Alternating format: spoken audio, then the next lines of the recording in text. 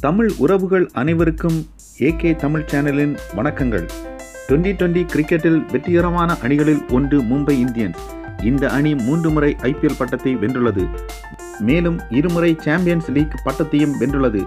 பல்வேறு நட்சத்திர வீரர்களை இந்த அணி கொண்டுள்ளதால் இந்த தொடர் வெற்றிகளுக்கு காரணமாய் அமைந்துள்ளது. இந்த அணியின் உரிமையாளரான முகேஷ் அம்பானி பல்வேறு திறமை வாய்ந்த வீரர்களை தன் அணியில் இணைத்து வருகிறார். அணியில் இடம்பெற்றுள்ள வீரர்கள் தங்களது வெற்றியை கண்டிருந்தாலும் சில வீரர்கள் அணியில் ஜொலிக்க தவறினர். அவ்வாறு சிறக்க தவறிய வீரர்களை அடுத்தடுத்து வந்த ஐபிஎல் ஏலங்களில் இந்த மும்பை அணி நிர்வாகம் விடுவித்தது.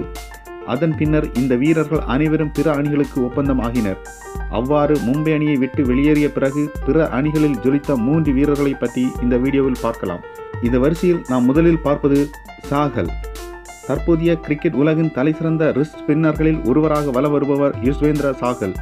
இவர் முதல் முறையாக இரண்டாயிரத்தி பதினொன்றாம் ஆண்டு நடைபெற்ற சாம்பியன்ஸ் லீக் போட்டியில் வெற்றி பெற்ற மும்பை இந்தியன்ஸ் அணியில் இடம்பெற்றிருந்தார். இவர் மும்பை அணியில் இதுபோன்றதொரு வெற்றியை கண்டிருந்தாலும் அந்த சீசனில் ஒரே ஒரு போட்டியில் மட்டும்தான் விளையாட இவருக்கு வாய்ப்பு அளிக்கப்பட்டது. பின்னர் இவர் அணியை விட்டு வெளியேற்றப்பட்டார்.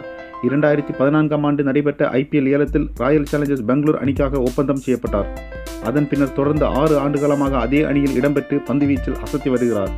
இதன் மூலம் இந்திய அணியிலும் இடம்பெற்று உலகின் மிக சிறந்த சுழற்பந்து வீச்சாளர்களில் ஒருவராக திகழ்ந்து வருகிறார். இருபத்தி எட்டு வயதான இவர் பெங்களூர் அணிக்காக எண்பது போட்டிகளில் விளையாடியுள்ளார். அவற்றில் தொண்ணூற்றி ஏழு விக்கெட்டுகளையும் கைப்பற்றியுள்ளார். பேட்டிங்கிற்கு சொர்க்கபுரியாக திகழும் பெங்களூர் சின்னசாமி மைதானத்திலும் கூட தனது சிறப்பான பந்து வீச்சை தொடர்ந்து அளித்து வருகிறார் சாகர். இரண்டாவதாக நாம் பார்க்க இருப்பது ஜோஸ் பட்லர். உலகின் அபாயகரமான பேட்ஸ்மேன்களில் ஒருவராக திகழும் ஜோஸ் பட்லர் தனது ஆரம்பகால ஐபிஎல் வாழ்க்கையை மும்பை அணியிலிருந்து தொடங்கினார். இங்கிலாந்தை சேர்ந்த விக்கெட் கீப்பரான இவர் மும்பை அணிக்காக இடம்பெற்றிருந்த போதிலும் பெரிய அளவிலான தாக்கத்தை உண்டாக்கவில்லை. தொடர்ந்து இரு சீசன்கள் இந்த அணிக்காக விளையாடியுள்ள இவர் ஒரே ஒரு முறைதான் அரை சதத்தை கடந்தார். எனவே இரண்டாயிரத்தி பதினெட்டாம் ஆண்டு நடைபெற்ற ஐபிஎல் ஏலத்தில் ராஜஸ்தான் ராயல்ஸ் அணிக்காக ஒப்பந்தமானார். அந்த தொடரின் முதல் பாதியில் மிடில் ஆர்டர் பேட்ஸ்மேனாக களம் கண்டு திணறி வந்தார்.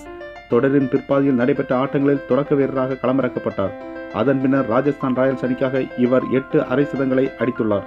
மேலும் இவரது ஸ்ட்ரைக் ரேட் நூற்றி ஐம்பது என்ற வகையில் சிறப்பாக உள்ளது. அடுத்ததாக நாம் இந்த வரிசையில் பார்ப்பது Wayne Bravo.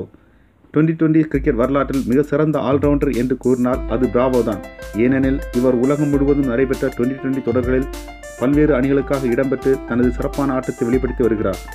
இவர் தனது ஐபிஎல் வாழ்க்கையை மும்பை இந்தியன்ஸ் அணியில் தொடங்கி தொடர்ந்து முதல் மூன்று தொடர்களில் இதே அணியில் இடம்பெற்றார். ஆனால் இவர் எந்த ஒரு தாக்கத்தையும் ஏற்படுத்தாத காரணத்தினால் இரண்டாயிரத்தி பதினொன்றாம் ஆண்டு அணியிலிருந்து விடுவிக்கப்பட்டார். அதன் பின்னர் சென்னை சூப்பர் கிங்ஸ் அணியில் இணைந்தார். அவ்வப்போது தோனியிடம் ஆலோசனை கேட்டதன் பேரில் இறுதிக்கட்ட ஓவர்களை சிறப்பாக வீசக்கூடிய பந்து வீச்சாளர் ஆனார். மேலும் இவர் டுவெண்டி டுவெண்டி போட்டிகளில் மிகவும் மதிப்புடைய வீரர்களில் ஒருவராக திகழ்கிறார். பேட்டிங்கிலும் கணிசமான பங்களிப்பை அளிக்கக்கூடிய இவர் தனது பேட்டிங்கால் பலமுறை சென்னை அணிக்கு வெற்றியை தேடி தந்துள்ளார். இந்த தகவல் உங்களுக்கு பிடிச்சிருந்தா லைக் மற்றும் ஷேர் பண்ணுங்கள்